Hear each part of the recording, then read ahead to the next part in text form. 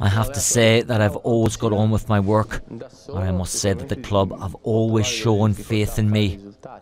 I would say that they've shown even more faith in me recently, and this has been demonstrated by the presence of Galliani and that of the President.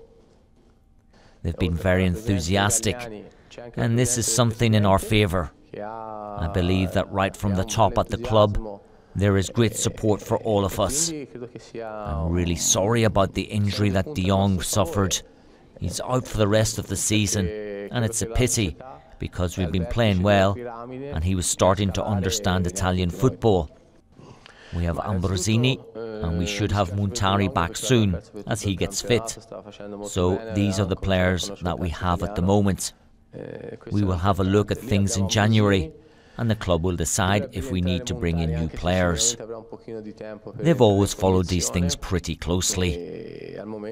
It's difficult to name a player who could come in because I feel that players such as Pastore and Balotelli would be difficult to sign because one belongs to PSG and the other belongs to Manchester City. È difficile fare ora, fare ora dei nomi anche perché io credo che sia di Balotelli che Pastore siano due giocatori che difficilmente le società sia il PSG che il Manchester City si priveranno.